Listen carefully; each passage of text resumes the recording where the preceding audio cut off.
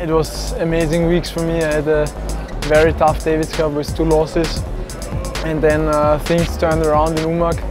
and yeah it was to win these two very traditional tournaments in Umag and Gstaad was very nice and then semis in Kitzbühel was also not too bad and it, of course it's, it's a, a, really big goal to, to break into the top 20. Yes, I was feeling good already before Davis Cup. I mean, in Davis Cup it was not working that great, but then I started to play better and better and from the last rounds in Umag on, I think I started to play the best tennis. I had the, such a winning streak last time in juniors and it's, it's, it's really good how much self-confidence you get and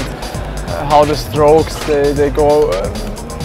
everything goes well and it's uh, you you don't know why but then also the luck comes and everything it's a nice feeling